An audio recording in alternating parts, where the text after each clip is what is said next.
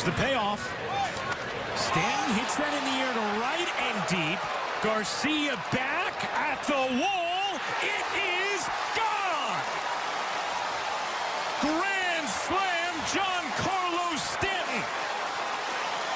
As he squeezes it over the wall and right. And it's 6-2 Yankees. Sixth career grand slam for Giancarlo Stanton.